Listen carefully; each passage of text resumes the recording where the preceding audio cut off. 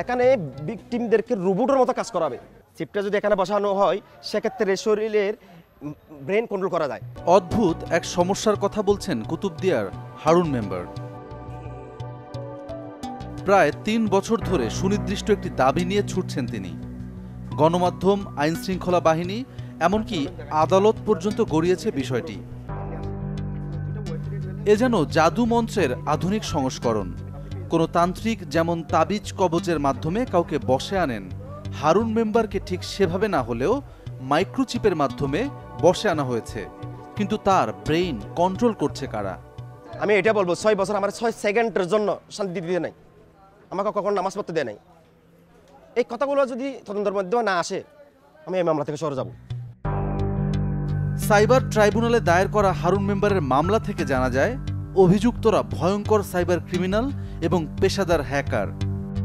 হারুনের phone email এবং অন্যান্য অ্যাকাউন্ট দখলে নিয়ে প্রতিনিয়ত তাকে সাইবার টর্চার করছে। যারা এদের ধরনের গ্যাং আছে আইনশৃঙ্খলা বাহিনী তাদেরকে চিনুক। এরা কিছুর সাথে জড়িত? তারা চিনুক তাদেরকে শনাক্ত করা হোক। ব্রেইন কন্ট্রোলের দাবির সপক্ষে হারুন মেম্বার যেসব তথ্য প্রমাণ জোগাড় করেছেন তার প্রথমেই রয়েছে এমআরআই স্ক্যান রিপোর্ট। আছে মোবাইল হ্যাকিংয়ের সার্ভে রিপোর্ট এবং সিগন্যাল ট্রেসার যেটি দিয়ে নিজের মাথায় নাকি মাইক্রোচিপের অস্তিত্ব পেয়েছেন তিনি। কাজ করতে সতেরো সাল থেকে সতেরো সাল থেকে আজকে বাইশ সাল পর্যন্ত প্রত্যেকটা সেকেন্ডে আমি এটার পিছনে বিয়ে করছি। হারুন মেম্বারের দাবিগুলো নানা প্রশ্নের জন্ম দিয়েছে। তৈরি করেছে রহস্য।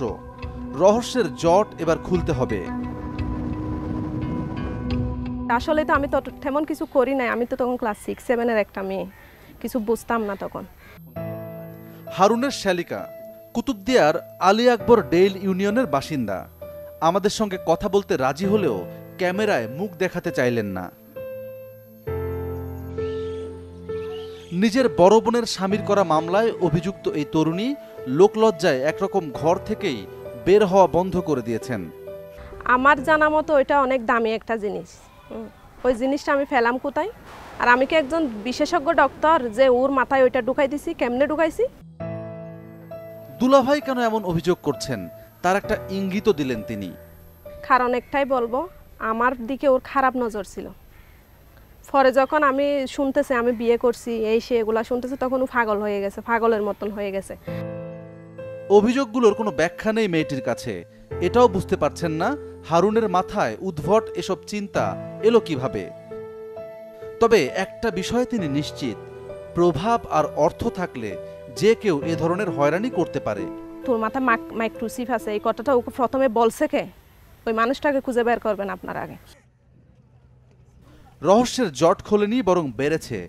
তৈরি হয়েছে আরও নতুন প্রশ্ন।